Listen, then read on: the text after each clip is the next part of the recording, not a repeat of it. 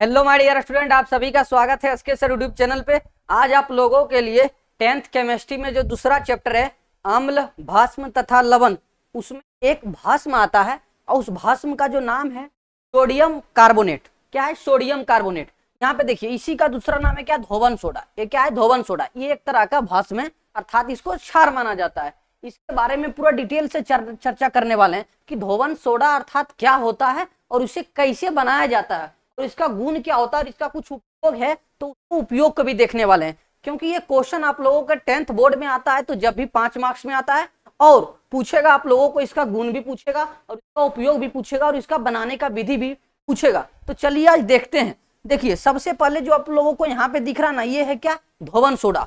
आप, हम, आप लोग अगर देखे होंगे तो कहीं भी अगर गंदगी ज़्यादा हो, यदि कपड़ा ज़्यादा गंदा हो तो वहाँ पे धोवन सोडा का प्रयोग किया जाता है। तो हम वीडियो को स्टार्ट करते तो ध्यान से अंत तक ज़रूर देखिएगा आज। देखिए, सबसे पहला क्वेश्चन आप लोगों को एग्ज़ाम में कुछ इस टाइप से आएगा, और ये पाँच मार्क्स का क्वेश्चन है।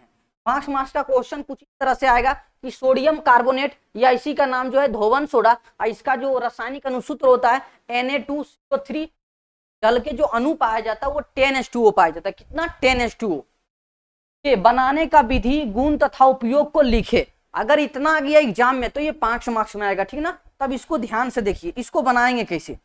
तब बनाने का विधि देखिए। सबसे पहले आप लोग क्वेश्चन में लिखिएगा आंसर, जब लिखते समय क्वेश्चन का जब आंसर लिखिएगा तो लिखिएगा बनाने का विधि देखे डैश जब सोडियम बाइकार्बोनेट को, जब सोडियम बाइकार्बोनेट को गर्म करने पे, गर्म करने पे सोडियम कार्बोनेट प्राप्त होता है। और सोडियम बाइकार्बोनेट आप लोगों को कल ही बताए थे कि सोडियम बाइकार्बोनेट कैसे बनाया जाता है?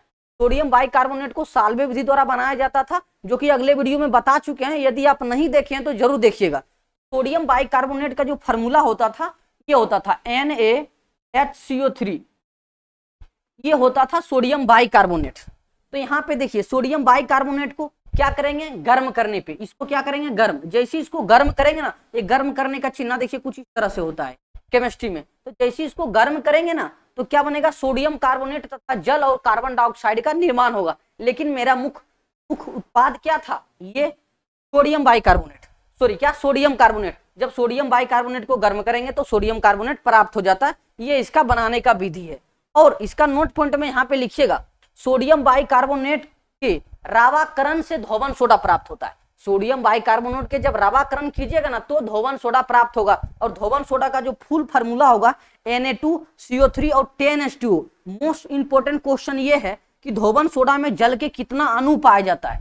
जल का कितना अणु पाया जाता है? ये एग्ज़ाम में क्वेश्चन पूछा जाएगा। तो धोबन सोडा में जो जल का अणु पाया जाता है, कितना अणु पाया जाता है? दस अणु पाया जाता है। यहाँ पे अगर एक लिखा हुआ रहता तो एक अणु होता जल का, लेकिन यहाँ पे टेन लिखा हुआ है तो जल का दस अणु पाया जाता है धोबन सोडा में। ये हुआ इसका बनाने का विधि। अब इसका देखते हैं गुण क्या होता है। तो ध्यान से देखिए। गुण को देखिए। सोडियम कार्बोनेट का गुण को देख रहे हैं, अर्थात धोवन सोडा का गुण। तो सबसे पहले इसका जो गुण होता है, जो सोडियम कार्बोनेट होता है, वो सफ़ेद होता है, सफ़ेद रंग का होता है और रंगहीन होता है रंगहीन चूर्ण होता है। रंगहीन चूर्ण, आप लोग जिस तरह से सरफ देखे ना, खास उसी टाइप का ये भी होता है, धोवन सोडा। तो धोवन सोडा क्या होता है? ये सफ़ेद होगा और रंगहीन होगा, और रंगहीन टाइप का ये चूर्ण होता है। और देखिए, इसका जो जलीय विलियन होता है, इसका जलीय विलियन कैसा होता है? क्षारीय, क्योंकि यह खुद एक क्षार है। तो क्या है? क्षार है। ये तो भस्म है, लेकिन ये जल में घुल गया तो क्या कहला गया, क्षार। अब देखिए, जब जब धोवन सोडा को गर्म किया जाता है तो जल के दस अणु, जल का जो दस अणु होता है ना, जल का दस अणु बाहर हो जाता है। जैसे आप लोग धोवन सोडा को गर्म कीजिएगा तो जल का दस अणु बाहर हो जाएगा, जिससे निर्जलीय सोडियम कार्बोनेट कहा जाता है। इसे क्या कहेंगे? निर्जलीय सोडियम कार्बोनेट, जिसे निर्जलीय सोडियम कार्बोनेट कहा जाता है, क्योंकि दस, जो जल का दस अणु था, वो बाहर हो गया, इसीलिए। अब देखिए इसके आगे अगला, इसका अगला गुण। बोलता है, सोडियम कार्बोनेट अम्लों को उदासीन बना देता है। अम्ल को क्या बना देता है? उदासीन। और अभिक्रिया के फलस्वरूप CO2 गैस देता है। स्वाभाविक बात है ये जब भस्म है, ये जैसी अम्ल के साथ अभिक्रिया करेगा तो उदासीन होना ही है। जैसे ये अम्ल के साथ अभिक्रिया करेगा तो क्या होगा ये? उदासीन बना देगा। और कौन सा गैस निकलेगा? तो सीओ टू टू अर्थात कार्बन डाइऑक्साइड तो यहाँ पे देखिए, सोडियम कार्बोनेट है अब जैसे इसको अम्ल के साथ अभिक्रिया कराएँ एग्ज़ाम्पल के तौर पर है हाइड्रोक्लोरिक अम्ल। तो जैसे यहाँ पे क्या बन गया? NaCl बन गया और जल बना, और कौन सा गैस निकला बताइए तो? CO2 गैस निकला। तो आप लोगों के एग्ज़ाम में ये क्वेश्चन पूछा जाएगा, जब सोडियम कार्बोनेट को अम्ल के साथ अभिक्रिया कराई जाती है तो कौन सा गैस बाहर निकलता है? तो कौन सा गैस बाहर निकलता है? तो कार्बन डाइऑक्साइड गैस बाहर निकलता है। ये था इसका गुण। यदि इसका गुण सिर्फ़ पूछे तो दो मार्क्स में पूछेगा, ठीक ना? तो इसका गुण कुछ इस टाइप से आप लोग लिख दीजिएगा। आप लोग हड़बड़ाइए नहीं। यदि आप लोग इसका पीडीएफ लेना चाहते हैं तो यहाँ पे देखिए मेरा मोबाइल नंबर दिख रहा होगा। यहाँ पे क्या दिख रहा होगा? मोबाइल नंबर तिरसठ, अस्सी, बावन, ज़ीरो, तीन सौ चालीस। ये मेरा मोबाइल नंबर है। ये आप लोग व्हाट्सएप पे मैसेज कर दीजिए। आप लोगों को पीडीएफ बिल्कुल फ्री में मिल जाएगा। वरना ये टेलीग्राम चैनल है मेरा। इस पर आप ज्वाइन हो जाइए। अब इसका देखते हैं उपयोग। अब इसका देखिए उपयोग क्या है। Carbon di sodium carbonate.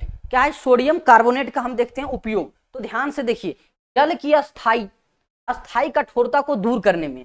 अब जल के जब चैप्टर आएगा तो जल के बारे में बताएँगे तो जल के बारे में पूरा डिटेल से बताएँगे। जल होते, जल में होता है स्थायी कठोरता, एक होता है अस्थायी कठोरता। जल का जो अस्थायी कठोरता होता है, उसको दूर करने में किसका प्रयोग किया जाता है? तो सोडियम कार्बोनेट का। सोडियम कार्बोनेट अर्थात धोवन सोडा का प्रयोग किया जाता है। और देखिए, कपड़ा, घरों इत्यादि को धोने में धोने में हम धोवन सोडा का उपयोग कर सकते हैं, ठीक है ना? अब देखिए आगे। अब इसका उपयोग नंबर तीन देखिए। कांच हो गया, कागज़ हो गया साबुन को बनाने में। कांच हो गया, साबुन और कागज़ को बनाने में धोबन का उपयोग किया जाता है, अर्थात सोडियम कार्बोनेट का Na2CO3 का।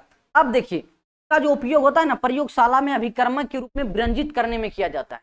क्या करने विरंजित। विरंजित का मतलब होता है किसी चीज़ को चूर चूर करने में, अर्थात तोड़ने में, पार्ट बाय पार्ट करने में।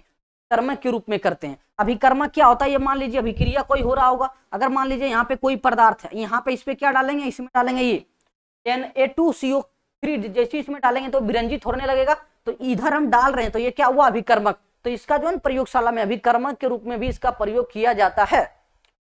हुआ इसका प्रयोग, और इसका गुण बता दिए। ये क्वेश्चन जब भी पूछा जाएगा तो पाँच मार्क्स में क्वेश्चन पूछा जाएगा, और आप लोगों का एक महत्वपूर्ण सूचना है कि आप आप लोगों को कल से डेली टेन एम में, अर्थात दस बजे सुबह आप लोगों को मैथ का क्लास कंटिन्यू चालू रहेगा। तो मिलते हैं नेक्स्ट वीडियो में, तब तक के लिए जय हिंद।